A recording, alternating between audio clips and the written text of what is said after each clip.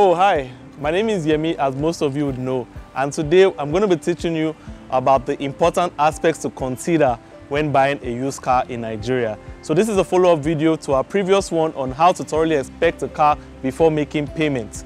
I'll be the first one to inform you that buying a car in Nigeria is an absolute necessity. The hustle and bustle of the everyday Nigerian life is enough to overwhelm the toughest of personalities. But also inspecting one well is also a very big necessity. Some people make the mistake of buying a car by merely looking at the outward appearance. But I'm here to tell you the things that you definitely need to look at before parting with your hard-earned cash. So number one is documentation. In order not to buy a stolen car, the first thing you need to check out is that all the papers of the car are in the right order. So the important documents you need to ask for include the vehicle license, the proof of ownership, the insurance cover, the ECMR, the tint permit, the allocation of plate number, and if available, the custom papers. To be honest, it is quite rare to find a car that comes complete with all these papers. But the most important, however, is the proof of ownership. And while making payments for this car, you need to ensure the name on the proof of ownership matches the name of the account number you'll be making payments into. Number two is the gear. The gear is also one of the most important aspects you need to consider before buying a used car. Imagine buying a car that doesn't move fast or efficiently enough in a country like Nigeria where everybody seems to be in a hurry. So there are a number of checks you can do to ensure and find out if a gear is in perfect working order. Number one is sitting in the car and switching through with the gear.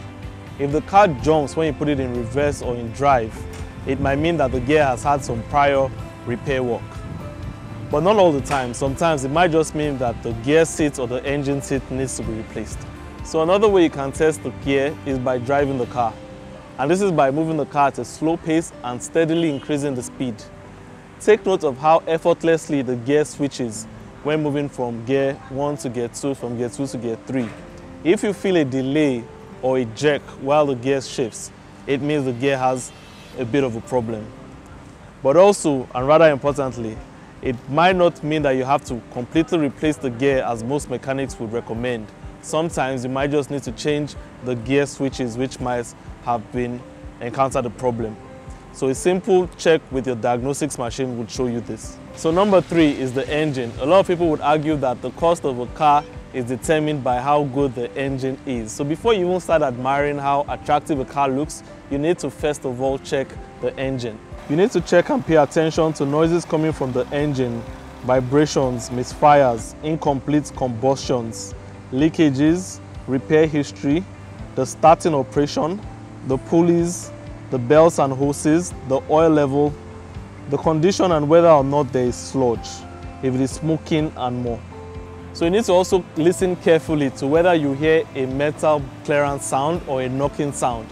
If you hear these sounds, these are huge red flags and you probably should stay away from this car. Number four is body or should I say first body. So this is one of the most common questions would-be car owners usually ask the car sellers.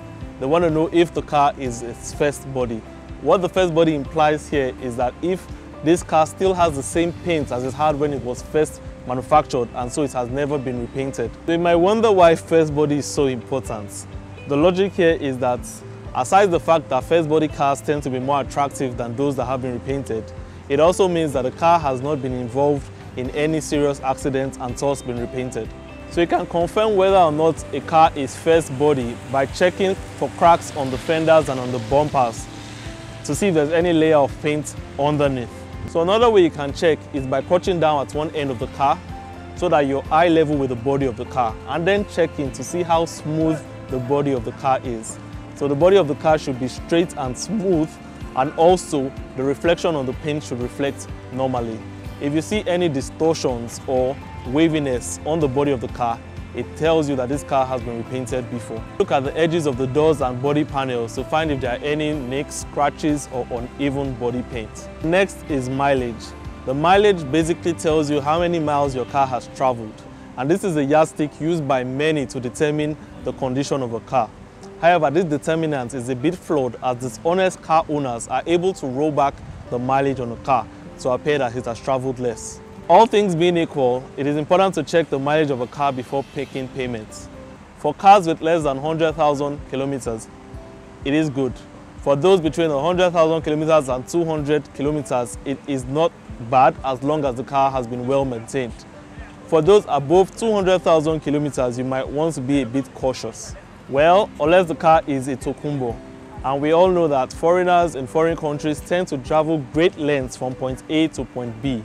But the cars always turn out to be in better condition because of the situation of their roads and the expertise of their mechanics.